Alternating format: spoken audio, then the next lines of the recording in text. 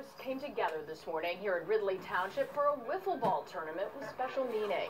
The tournament called Line Drives for Luke was to benefit 12-year-old Luke Theodosiadis, who is battling cancer. It took place here at Black Rock Park in Swarthmore.